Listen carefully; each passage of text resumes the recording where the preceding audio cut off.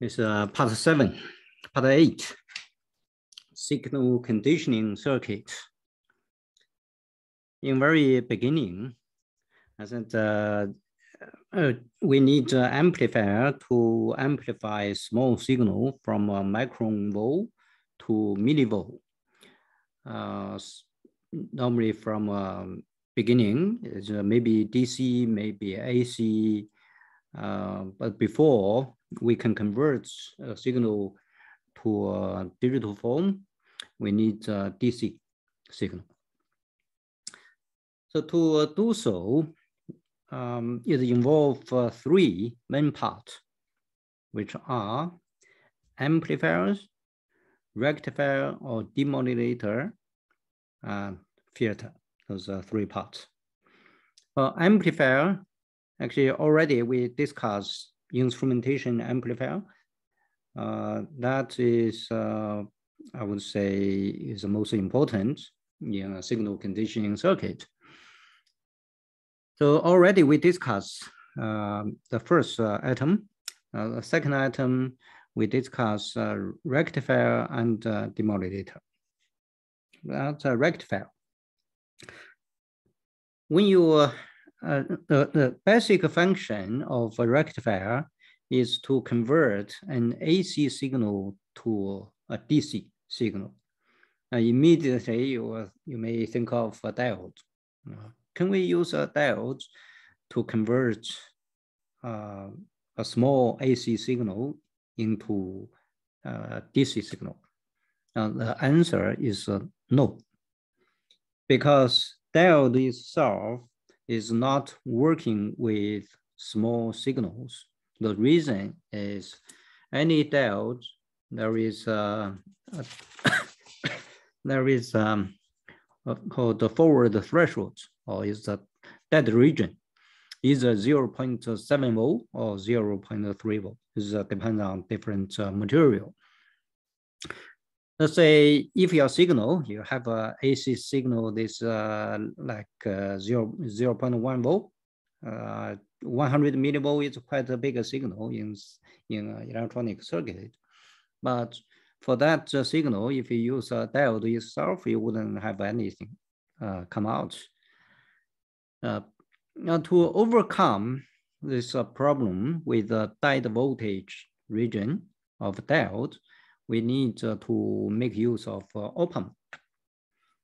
Uh, here is um, a practical circuit. This is a half wave rectifier circuit.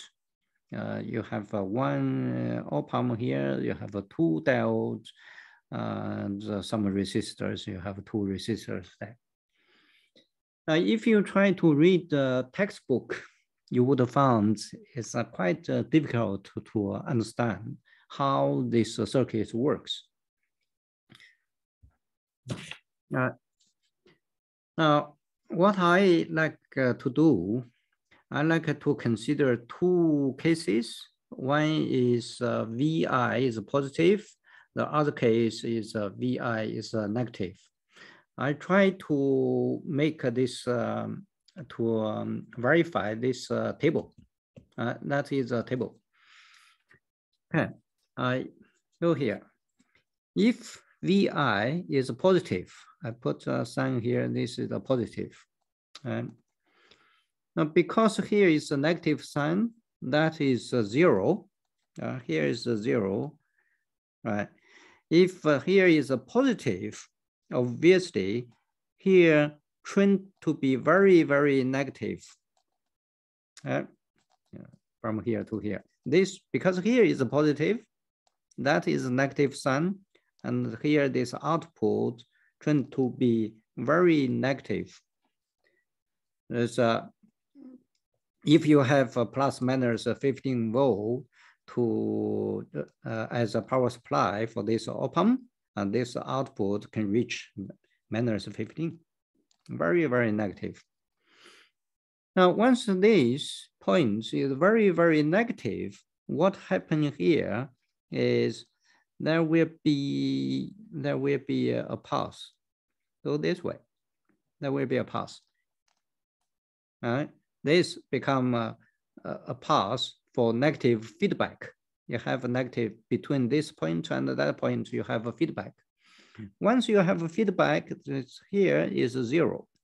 Do remember if uh, with the op-amp, if I have any feedback, that we negative feedback, here is zero, right? Here is zero, that is very negative. Obviously, you have current go this way, yeah, go that way. Okay. Uh, if here is a very negative, here is a zero, uh, that diode is off. That is off, and this diode is on. Uh, or this is on, that is uh, off. Uh, now, once this uh, happen, uh, if we look at this output here, this become actually become simply an in, inverting amplifier with a gain of two, right? With a gain equals two. So here, when I we we can easily work out here is a minus two V VR. So that is uh, the first case when VI is a positive. Okay, let's go back to this uh, this uh, paragraph. If VI is a positive, op-amp output trend towards very negative. That is here, very negative. Uh, say minus 15. Force delta 2 to be on. This is delta 2, now is on. And D1 is off, and this one is off. In this case, the circuit becomes an in, inverting amplifier with a gain of uh, minus 2. Uh, because here you have a 2R, and that is R. You have man, gain equals minus 2. Now VO equals minus 2, uh, minus 2 VI. So uh, I write this uh, result uh, to this uh, table. That is a plus, uh, D1 is off. The D1 is off there. Uh, D2 is on. Uh, output is minus 2 VI. That is the first case. The second case, the second case, when VI is uh, negative, if this is a negative, if here is negative, this point will trend to be very positive. Uh, yeah, so here is zero, again, here is zero. Uh, if here is a negative, that is a negative, that point trend to be very positive. Once here is a very positive, there will be a path from here to there. That will be a path. In this case, this diode is on. That is D1 is on. Okay. That is zero. We look at this path. That is a positive. You look at this uh, direction, this uh, diode. So this diode in that case is off. That is off. So now this uh, D1 provides negative feedback to force this point is zero. That is a virtual ground. If here is zero, that is off, uh, that is zero. Uh, in this case, VO equals zero. VO equals zero, right? Oh, that is a second case. So if VI is negative, op-amp output trend towards very positive, that is here.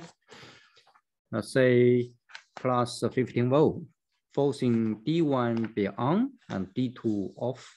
Uh, D1 is on, D2 off.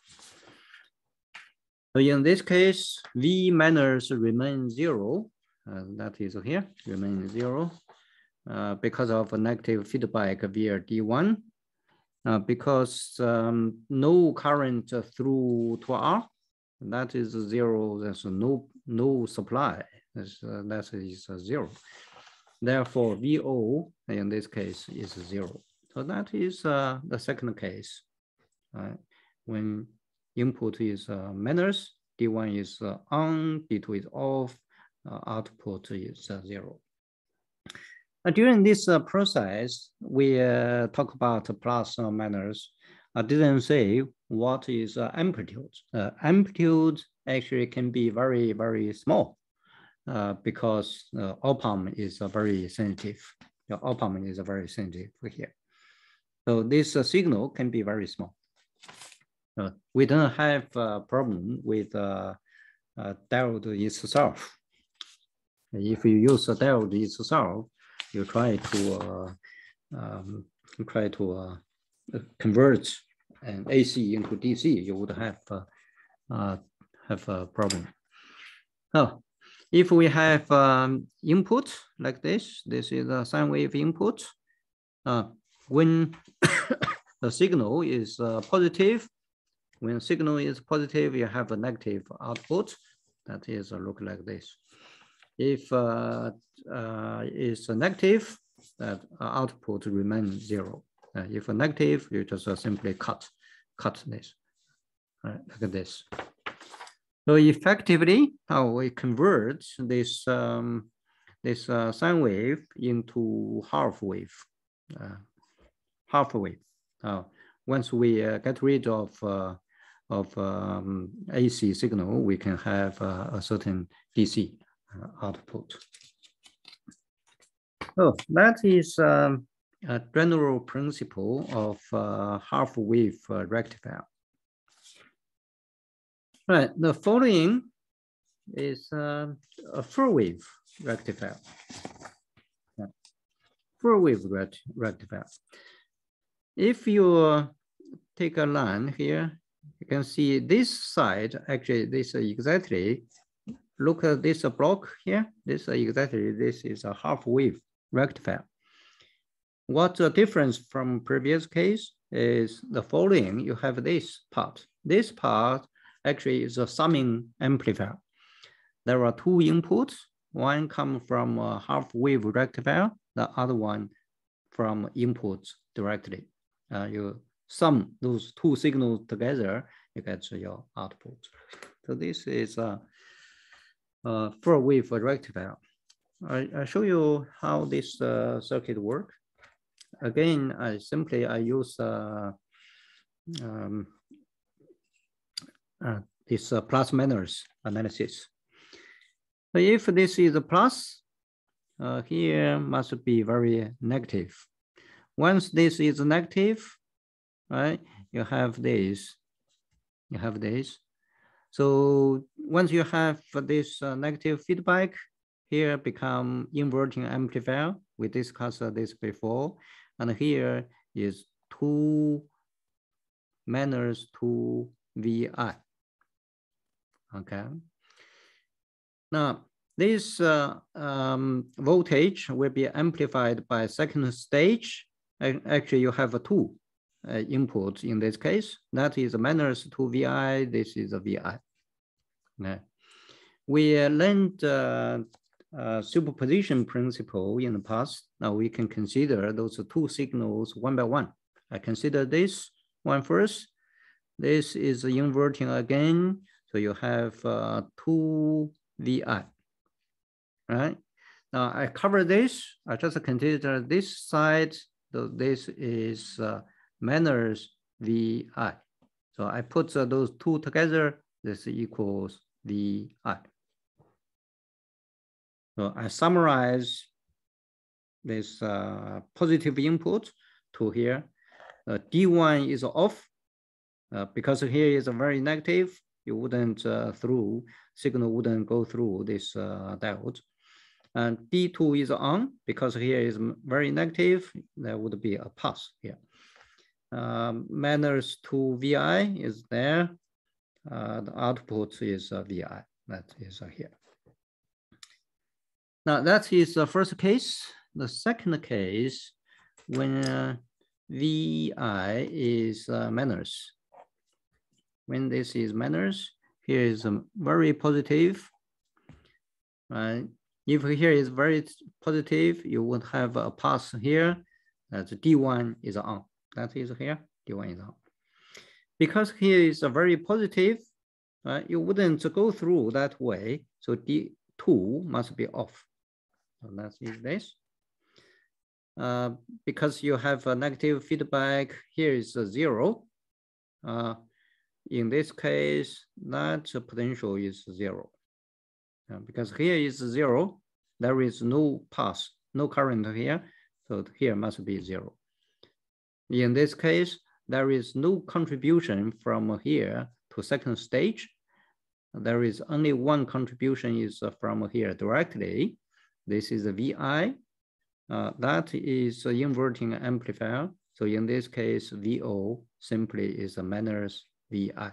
That is this, minus VI. Now, if you look this um, table again, uh, when this uh, when the signal, the input signal is positive, right? the output is same as your input.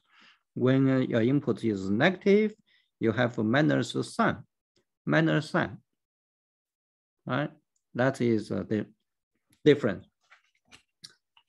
Again, if we consider a sine wave like this, like this, a sine wave, uh, when the signal is uh, positive, your output is same, that is uh, same. When your signal is negative, you have additional sign, a negative sign. That means you turn this uh, shape around uh, like this, like this. But now the signal is uh, become uh, um, become um, a full wave. That is a full wave. After you take off, um, filter off uh, uh, AC component, you have just a DC left. So that that is uh, a full wave uh, rectifier. Now you converted uh, AC signal to DC. Uh, let's stop here. We continue next video.